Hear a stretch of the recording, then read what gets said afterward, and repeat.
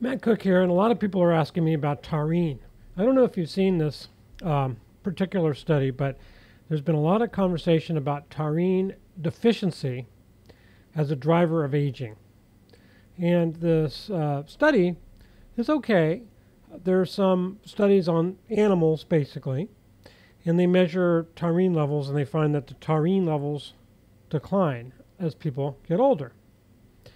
Now, this makes it seem like we should supplement with taurine, and there's a link to the lifespan that could extend 12 15% extra based on these uh, rodent studies. However, 12 or 15% isn't all that much in a rodent study. I would say it's almost noise. And if you want to see what also taurine does, is it increases prolactin and growth hormone. This is my problem with taking taurine. So um, people think growth hormone is, is really wonderful. Uh, it is not. Um, if you look at uh, growth hormone and prolactin secretion in rats, it seems that the taurine consumption, if you were to take extra taurine, activates through the endogenous opioid system. And it increases growth hormone and prolactin. So prolactin is, and actually growth hormone are similar to estrogen. They're um, molecules that are estrogenic, essentially. They uh, inhibit male sexual function.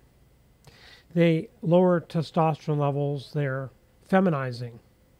Growth hormone has been used by people in Hollywood for a long time, and they really aren't doing too well with it, actually.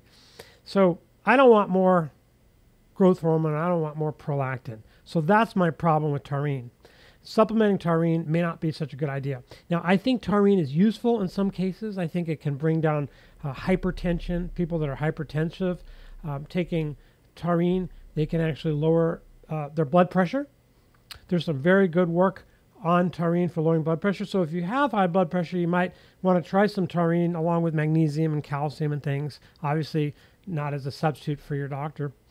But uh, taurine itself, eh, I'm not a big fan.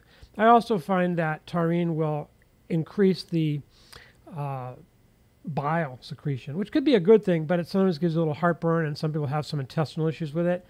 Um, I think it could be okay. I would probably suggest if I were going to do it, I would probably try a loading dose of maybe three to four grams of taurine for like two weeks, and then maybe three grams the next week, two grams the next week per day, and then maybe one gram after that, and then maybe down to a half of a gram after that. Because if you load taurine, it seems to work quite well, and you don't need to have a whole lot of it to maintain a higher level of taurine in the body.